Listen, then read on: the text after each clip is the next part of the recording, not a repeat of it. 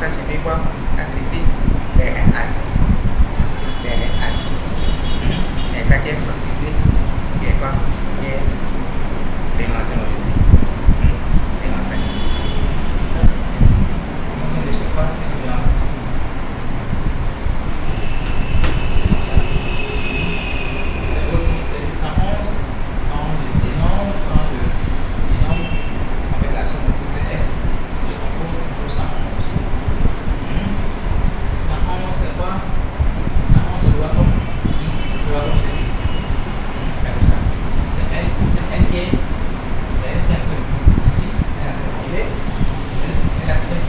la película.